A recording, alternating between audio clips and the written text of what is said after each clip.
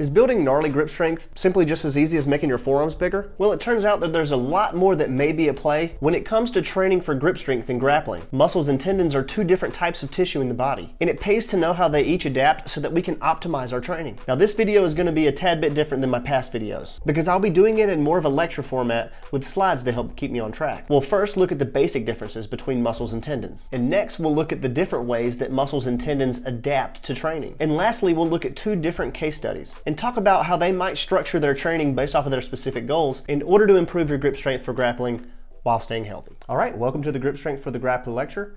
Uh, this is about the difference between muscles and tendons, as promised in the intro.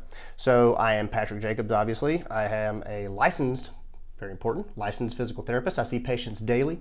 Uh, and I also have a doctor of physical therapy. Very fancy. I also have a doctor of brolosophy, like you may have seen from my shin conditioning video, which I hold in more esteem. It's very lonely in here talking to my camera, so please bear with me. I'm used to talking to my colleagues if I give a lecture or to different physical therapy students. Uh, so again, I apologize if it gets a little awkward in here, but I think we'll I think we'll uh, fight through it. Okay, muscles, contractile. This means that they receive an innervation uh, or a signal from the nerve, and they shorten. As a motor unit, that's really all that means. Signal comes down to the muscle, the muscle contracts, it moves the tendon, and the bone moves. Pretty simple. Highly vascularized. Got a pretty good blood supply, which means it heals faster uh, and it adapts faster than tendons do. Uh, it's more elastic than tendon, pretty self-explanatory. It gets longer and shortens a little bit better than tendons do. Tendons shorten and lengthen a little bit, uh, although not that much. Uh, it's comprised of proteins like myosin and myoglobin. Uh, there are many more proteins. Uh, if you want to go look them up, you can. That is not the point of this video. Uh, this is mainly to say that the chemical makeup kind of dictates their function. Okay, and those, those are different proteins than later we'll see in the tendon. Uh, it's located between two tendons. So you have a bone, tendon, muscle, tendon, bone. And depending on the alignment of the body at the time and what you tell the muscle to do, depends on which bone will move. Okay, pretty simple there too. All right, tendons, non-contractile. So the muscle contracts the tendon distributes the force from the muscle to the bone, and then the bone moves. Okay? Less vascularized. Pretty self-explanatory. Doesn't have as good of a blood flow, therefore it adapts less, or excuse me, takes more time to adapt. Uh, and it also takes more time to heal if it is truly tendinopathic injury or a pain in the tendon. It's stiffer than muscle. So it's what we call viscoelastic. Viscoelastic means that it has it behaves mechanically like an elastic material and like a liquid. For example, let's say, I don't know, my desk is a pool of water and I stand up by the ceiling and I jump off and I do a belly flop. Boom, I hit and the muscles or the molecules of the water stay really close together. So I don't go anywhere and then I start to slowly float and I am writhing in agonizing pain because I just did a really good belly flop. Although the people drunk at the pool are very happy that I did that. Okay. Now if I take my hand and I just, much more boring, but I put it through the plane of the top of the water, it allows for my hand to sink deeper and deeper much more quickly. And that is because the molecules of the water, due to the force of the load, are allowed to move.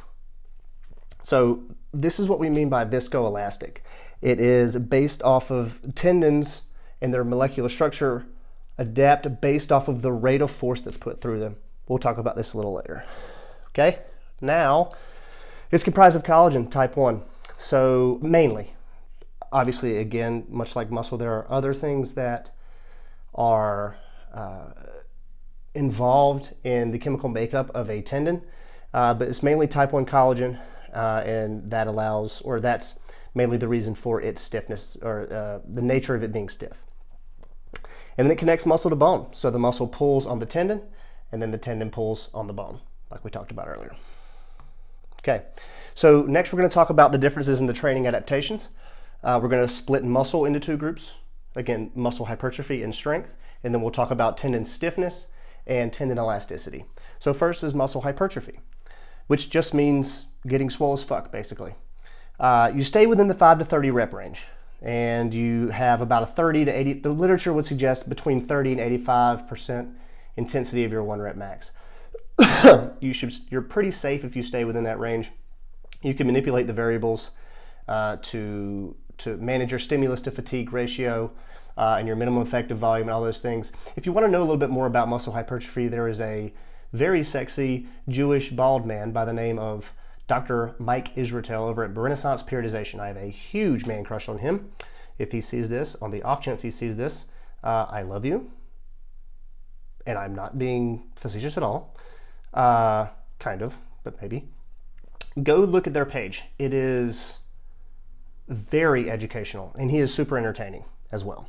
Okay, so the literature also suggests that the eccentric portion of the movement, so if we're talking about grip strength like we are in this video, we would take like maybe a dumbbell and we would curl it up really slowly. That's concentric. And then we would really slow eccentric and focus on that deep stretch at the bottom and then come back up. That would make our forearms get really big. All right. And then the accumulation of volume. So you would add more reps and sets rather than increasing the load, maybe, uh, whenever it comes to wanting to get bigger or muscle hypertrophy. Now, there is some overlap. Okay, let's move on to the next one. Strength. There is overlap between strength and hypertrophy, particularly if you're not trained. So if you're new to the weight room, you're going to get strong and you're going to get big and it's going to be quicker than you ever thought possible, uh, even without steroids, but even quicker with steroids, but we're not going to talk about steroids right now. Uh, and you can see the difference in the two. So in my previous slide, you see Arnold, huge, right? One of the best bodybuilders ever. Uh, and then you see here Lu Xiaojun, he's a Chinese weightlifter uh, for the Chinese Olympic weightlifting team. He, he has the world record in the 77 kilo weight class for clean and jerk snatch, and I think the total as well. So um, Arnold is much bigger than Lu Xiaojun, but Lu Xiaojun is much stronger. Arnold is also not weak and Lu Xiaojun is not small. So we can see as you manipulate the variables or as you get a little bit more trained in your specific uh, sport that the Venn diagram starts to pull apart and less overlap becomes um, available. So roughly, oh yeah, three to six rep range. Uh, you're going to stay uh, in that rep range and you're also going to stay a little bit closer to your one rep max instead of trying to approximate failure uh, like we would in hypertrophy. And then you focus on the load increase. So you want the weights to get bigger and bigger since we define uh, strength as the ability to produce load or produce force through a certain joint. Uh, increasing that over time will increase your neural adaptation, so on and so forth. Okay, so now we're talking about tendons. And if you want a stiffer tendon, uh, which is consequently better for performance, which we'll talk about here in a second, we're going to do more plyometric or power movements like jumping, like clean and jerks, uh, sprinting, things like that. Uh, you need to look no further than uh, track athletes. They're very fast, and they're very powerful, very explosive. This is because their tendons are very stiff. And this is because of it the way that they are moving allows for cross-link formation. I think I wrote about yeah lysyl oxidase and sugars. Those are the, the, the chemicals that actually allow or that are actually cross-linking, but that's not what's important here. Remember we talked about the belly flop, that quick force distribution for the water. The molecules didn't have a chance to move very quickly because of its viscoelastic nature. Same thing with the tendon. If we're putting a lot of pressure or a lot of force through these collagen fibers, the cross links form because every time you try to put force through it, it doesn't actually allow for them to move right? So every time we sprint, every time we jump, more cross links are being formed and the stiffer the tendon gets. Now, this is good for performance.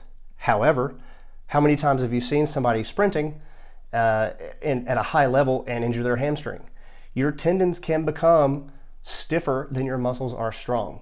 So there is a balance to be reached here. Now, we won't get too much into the, the injured portion. Again, uh, I need to say this this is all healthy tissue. Okay, when it comes to injured tissue, it's a completely different story for how you would load and program certain things. This is for if you want your grip strength to get better. Uh, yeah, I'll just leave it at that because you will have keyboard warriors saying that. All right, now for tendon elasticity, which tends to be better for health. So we're talking mainly about the portion of the tendon that is closer to the muscle or the musculotendinous junction. whenever we're doing a very good squat, like it's like on the uh, uh, on the screen here, the musculotendinous junction of let's say the Achilles tendon is, and we're moving very slow and we're moving in a very controlled manner, much like taking my hand and putting it through the plane of the water. The molecules are allowed to move back and forth along one another, and the, it minimizes cross-link formation so the tendon does not get as stiff which is a pretty good thing, especially for the musculotendinous junction because its job, it, if you were to ask an engineer to take something elastic and connect it to something that's non-elastic, they would have a cow because it's very hard to do mechanically. Well, our bodies are constantly adapting to try and do that for us. So where the muscle meets the tendon, we want it to be a little bit elastic because it's attaching something elastic to something inelastic, like a bone. So at the bone, we want it to be stiff, and then at the muscle end, we want it to be elastic. Again, there's a balance to be made.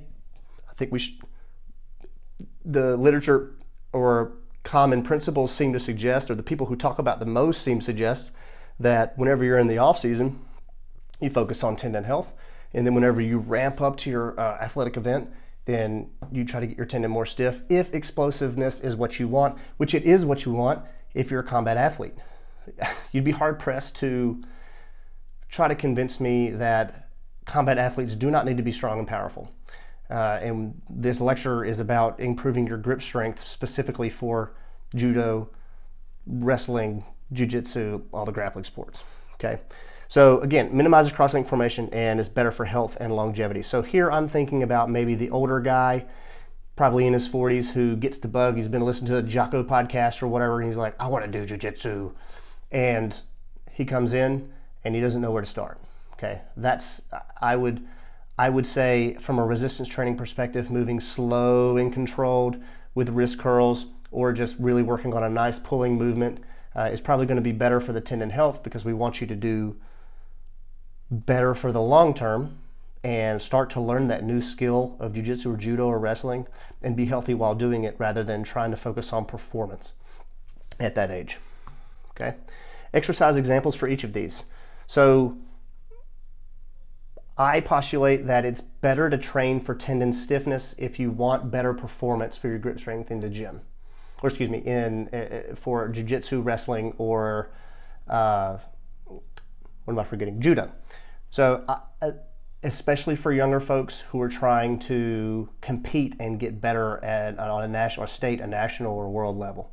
I think your tendons need to be very stiff and be able to distribute force quickly and minimize that cross-link formation, or excuse me, um, promote that cross-link formation so that they get stiff. However, we don't want it to get too stiff uh, because jiu-jitsu, jiu-jitsu players or, or wrestlers notoriously have uh, muscle issues because their tendons are stronger than they are than their muscles are strong, or tendons are stiffer than their muscles are strong. So something like a hanging dynamic grip change, and those, these will be up on the screen.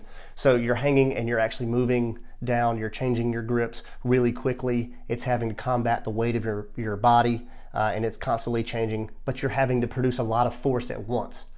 Okay, maybe doing these like 30 seconds, taking a 30 second break, and then doing it again. Not too taxing for your forearms, uh, but really good stimulus for tendon stiffness. Okay, the push up to the finger hold.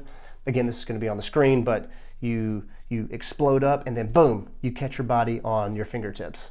And then handstand walks or, or handstand holds uh, because your tendons are maximally elongated in that position. And, in, and anybody who's ever worked on handstands will tell you that the control of the handstands actually comes from the pressure on the ground from your fingertips. The fingertips are are the muscles that control the wrist and the fingertips are essentially your, your muscles that are heavily involved in grip. Okay, and then for tendon elasticity, uh, really any wrist curl variation.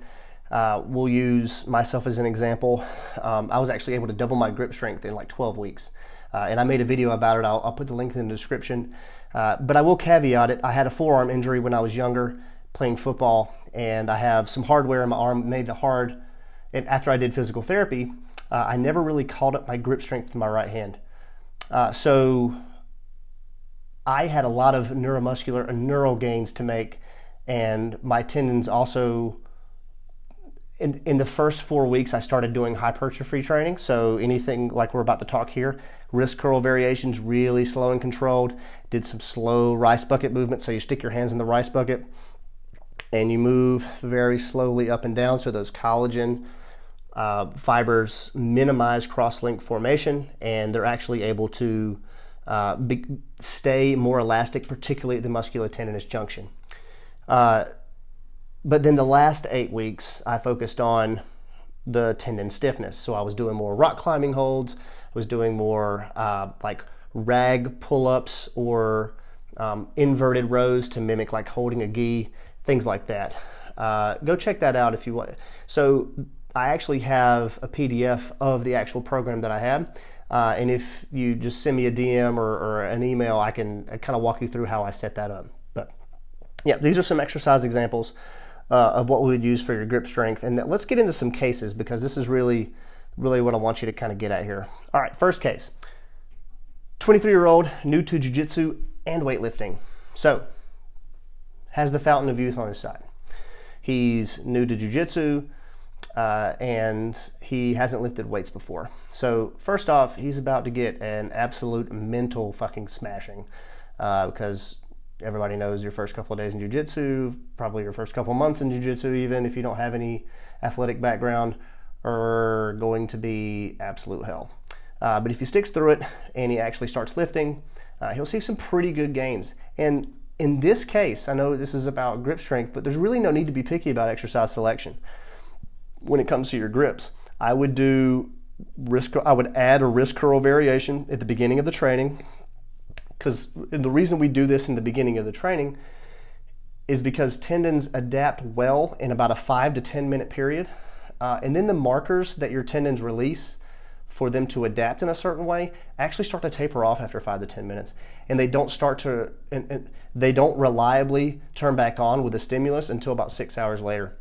So we want to place all these exercises, grip related, in the beginning of your program for something like this. So I would say for him, I would do just your typical hypertrophy.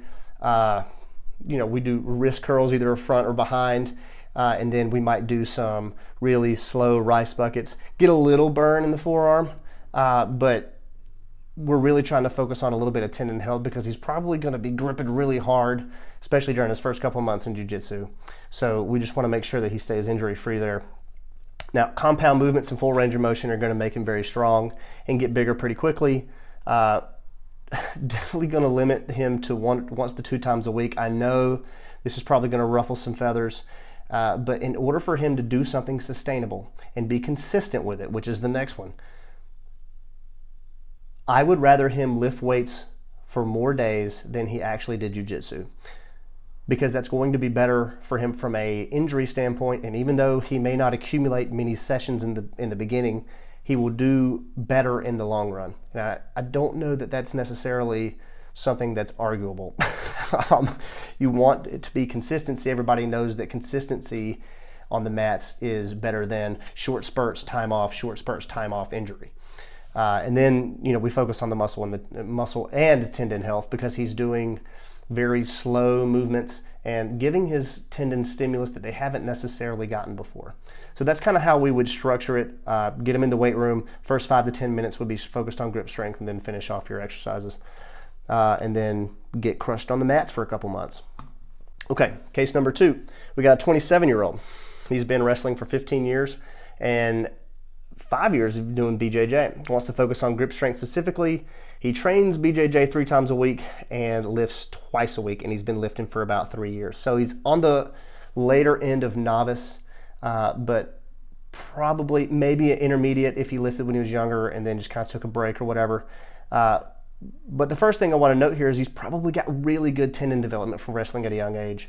We know, um, or we can be reasonably certain, the consensus is is pretty clear that you you start laying down collagen uh, in your in your tendons for the first 18 years, 17 to 18 years of your life, and then after that, the new collagen stops being laid down. So the collagen or the tendons that you have to work with is pretty much set for you at 17 or 18 years old. Now, if you start wrestling or start rock climbing at a young age, your tendons are going to be very big and well developed from having done that at a young age up until 18. So he's already got a really good foundation here for tendon health. Uh, this is going to focus on tendon stiffness for performance. Uh, this, since he wants to be able to improve his performance, and we know that we want to minimize cross-link formation, there is going to be a certain part of his program that includes some of the exercises we talked about before uh, that really put a, a lot of strain and force distribution through powerful force distribution through his fingers uh, in different ways that mimic grappling and the way that we have to dynamically change our grips and throw and things like that. Those are going to be again at the beginning of his program. So we might start off with those push-ups to the fingers, uh, and then we might switch to, you know, if you've got the pull-up bars that are stacked, you might pull yourself up, catch the pull-up bar, catch the pull-up bar, back down, or back to the rope. Um, any any sort of variation of those that puts a ton of force distribution through the tendons of your fingers and your hands. Uh, and that's going to be the first five to 10 minutes, and then you go on with your lifting session after that. We're also going to need to minimize, how do I say this without pissing people off? Because the combat sport culture is very against this, it seems like, uh, the more that I learn about it. You're going to need to start managing your volume on the mats. If you want to target your training to something specific, it, and this is true for any sport, you have to either put the rest of your activities on maintenance volume or don't don't take them out completely. Just minimize their volume. For example if you're used to going hard every single every single time you train for three days a week and you've been able to do that because this guy's of five years of bjj and 15 years of wrestling he's probably he's probably a blue belt or definitely a blue belt probably a purple belt by now. And he can probably just do what he wants to with everybody when you start adding something, adding more to your central nervous system, like really quick, powerful movements do, you have to manage your volume elsewhere. And so I would actually have him do light rolling days, positional work, working on things that are weak for his game, uh, and, and really just kind of focusing on technique rather than going balls to the wall. And then um, placed after a rest day, one hard rolling day so that you so that you still maintain the cardio that you need uh, for for uh, something like a competition. Um, and again, the, the, grip strength specific exercises are going to be at the beginning of lifting days so you can uh, harness the full power of your central nervous system and the neural drive that you have. Okay, so those are the two cases that I've got. Um, if you have any questions, this is this is by no means a, an exhaustive list or meant to be something that's super in depth. Uh, I certainly skipped over a lot. I kind of wish there were some things that I had said, uh, but I want to know what you guys think about this format. Uh, it's a little bit more informal. It also requires me to edit less, so I would really appreciate it if you sent me an, an Instagram message or uh, emailed me and said, hey, you know, we like this or we don't like this, do the other shit. Um, and also send your questions here. And if you have, you know, you can hop on with me uh, and we can discuss your training if you want to, uh, or your injuries or whatever. So thank you guys for watching. Uh, it's I can't tell you how much I enjoy doing this and educating the combat sport community. So please continue to let me give you guys the information, but I do need direction from you because I need to know what you want. All right. Uh, it's been fun. I'll see you guys next time.